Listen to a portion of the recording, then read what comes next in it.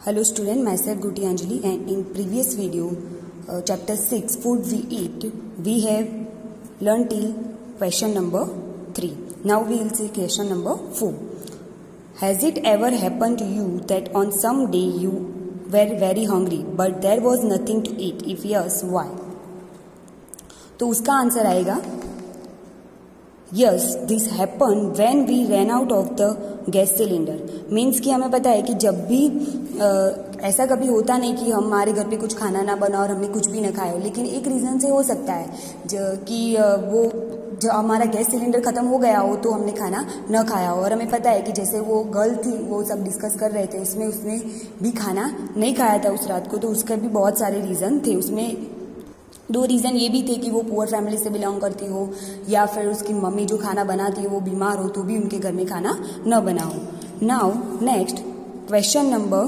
fifth how do you know that you are hungry तो आपको कैसे पता चलता है कि आपको भूख लगी है? तो हमें कैसे पता चलता है कि हमें भूख लगी है? जैसे कि हमें ऐसी फीलिंग आ जाती है कि अभी हमारा जो स्टमक है वो एम्प्टी है और हमें कुछ खाने की ज़रूरत है। तो हमें पता चल जाता है कि हमें भूख लगी है। तो इसका आंसर क्या आएगा क्वेश्चन नंबर फाइव का?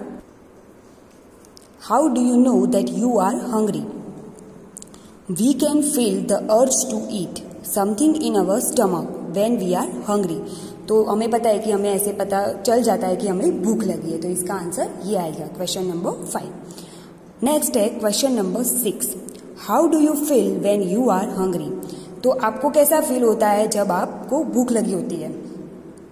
तो पहले हमने क्वेश्चन में क्या था? क्वेश्चन नंबर फाइव में कि how do you know that you are hungry और अब नेक्स्ट क्वेश्चन क्या है कि how do you feel when you are hungry तो यहाँ पे इस क्वेश्चन में डिफरेंस क्या है? कि यहाँ पे हमें नो uh, है दिया हुआ है और यहाँ पे फिल दिया हुआ है। तो कि हमें पता कैसे चलता है और हमें फिल कैसे होता है? तो क्वेश्चन नंबर सिक्स का आंसर आएगा। How do you feel when you are hungry when we are hungry we feel very restless until we eat something and we get feel feeling that the stomach is empty क्योंकि जब तक हमें भूख लगी होती है और हम खाना नहीं खाते, तब तक हमें रेस्टलेस फील होता है। और हमारा जो फीलिंग आ जाती है कि जो हमारा स्टमक है, वो एम टी है। तो हमें उस तरह से फील हो जाता है कि हम, हमें भूख लगे वी आर हंगरी तो हमें जब तक हमें हमें भूख लगी और हम कुछ खाते नहीं तो हम किससे रेस्टलेस फील करने लगते हैं। हमें कुछ अच्छा नहीं लगता। और जब हम खा ले नहीं लेते तब तक। और हमारा स्टमक है, वो एम्प्टी है, ऐसी भी हमें फीलिंग आ जाती है। तो उसी तरह से भी फील कर सकते हैं कि हमें भूख लगी है। तो ये थे हमें जो पिक्चर्स आगे दिए हुए थे, उससे रिलेटेड यहाँ पे क्वेश्चन वन टू सिक्स दिए हुए हैं। और ये आपको अपनी नोटबुक में क्वेश्चन और उसके आंसर लिखने हैं। और यहाँ तक ये जो पिक्चर्स थे, उससे रिलेटेड सिक्स क्वेश्चन थे। और now we will see the next question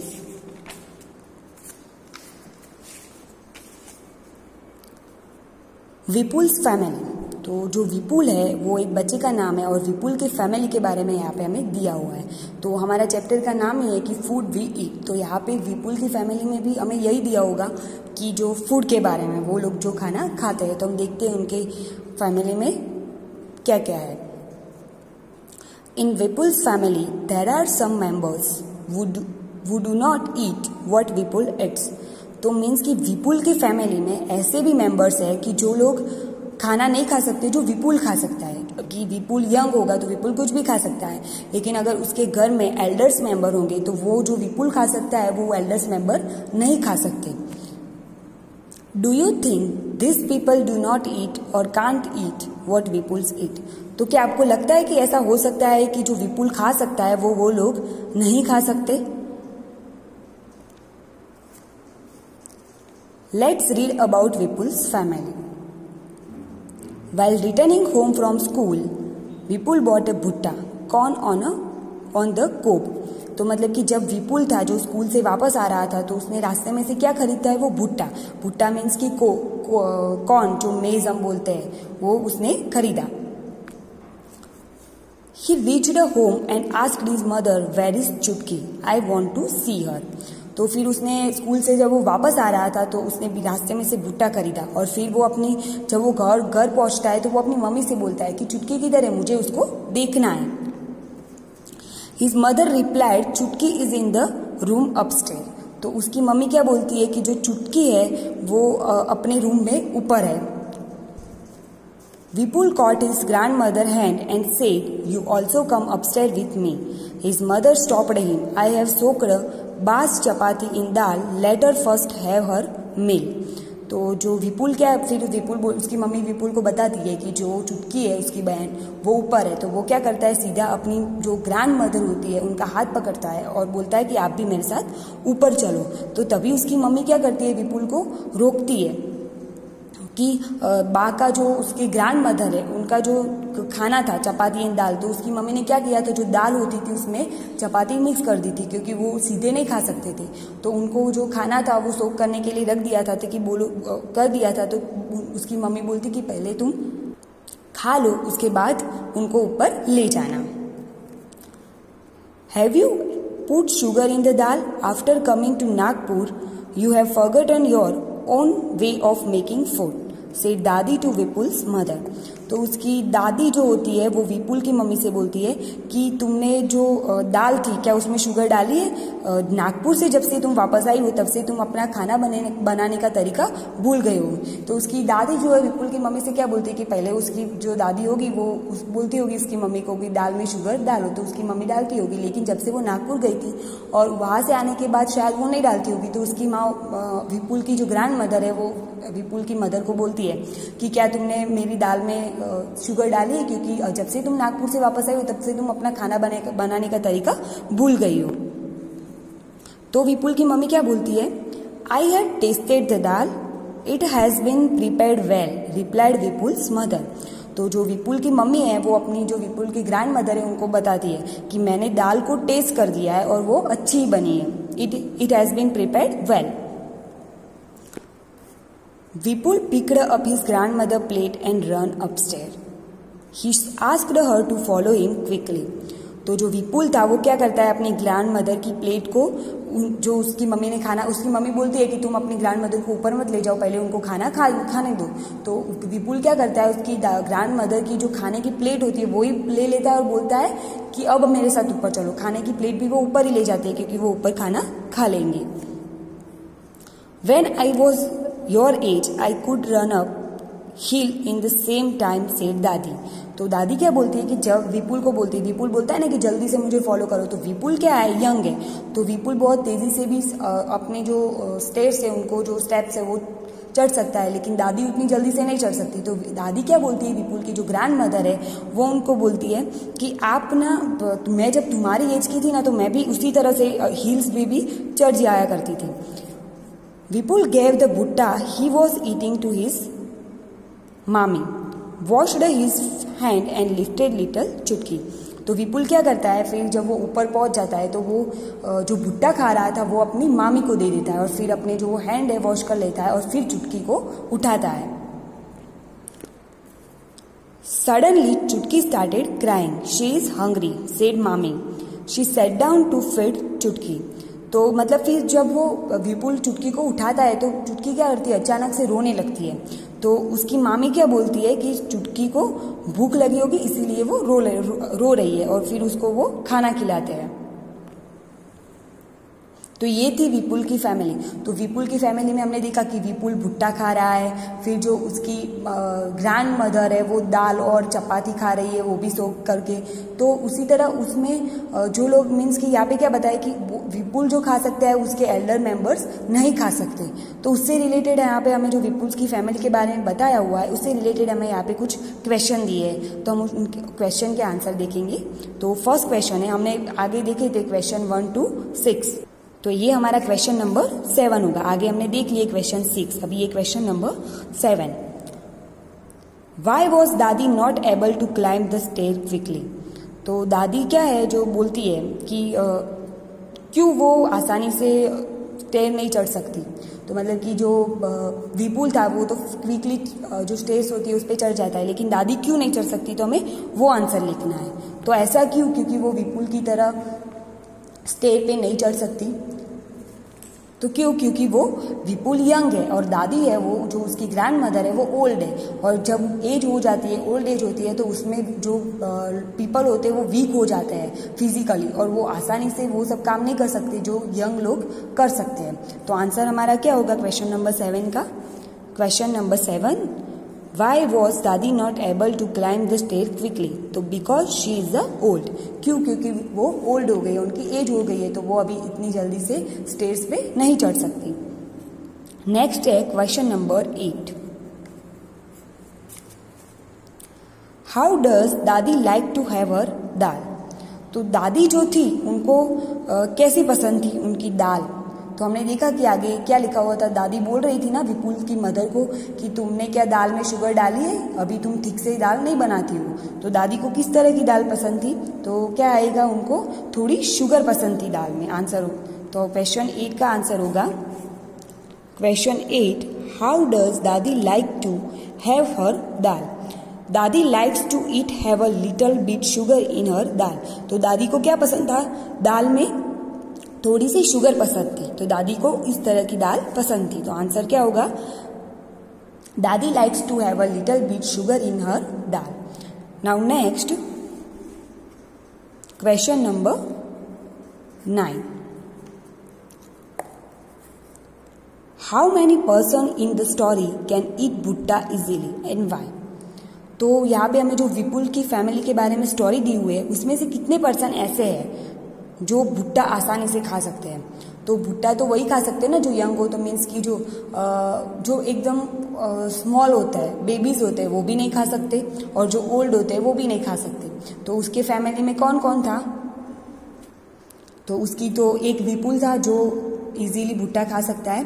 फिर उसकी मम्मी मदर वो भी भुट्टा खा सकती है। फिर उसका कौन था? मा, मामी तो मामी भी खा सकती है। वो थ्री मेंबर उसके अलावा हमें कौन थे? चुटकी और उसकी दादी। तो चुटकी बहुत स्मॉल है, वो बेबी है तो वो भी भुट्टा नहीं खा सकती।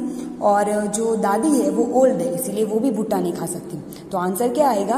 Vipul and is mother mami can eat bhutta easily as they are young and have a strong teeth क्योंकि वो जो ओल्ड जो दादी है, उसकी, उनके भी स्ट्रांग टीथ नहीं होंगे, और जो चुटकी है, वो लिटिल बेबी है, इसीलिए उसके भी टीथ नहीं होगी। तो कौन खा सकता है जो लोग यंग है? तो answer will be of question number nine Vipul, his mother and mommy.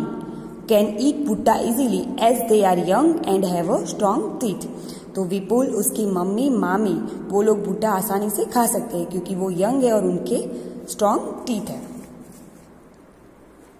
Now next question number ten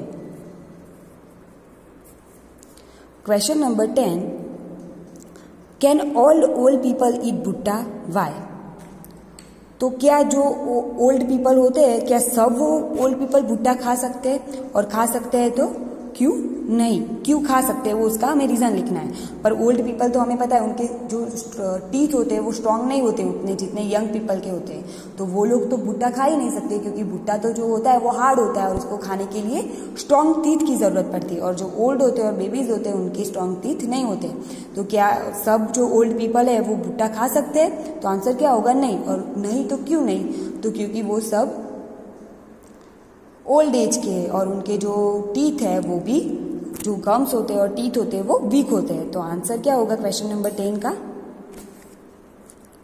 Question number ten can all old people eat bhutta why तो no can old can all old people eat bhutta तो उसका answer होगा no और why तो उसका reason है not all the old people eat bhutta in old age the teeth and gums become weak तो जो ओल्ड पीपल होते हैं, उनके जो टीथ होते हैं और उनके जो गम्स होते हैं, वो क्या हो जाते हैं? वीक हो जाते हैं और जो भुट्टा खाने के लिए स्ट्रॉन्ग टीथ की ज़रूरत पड़ती है।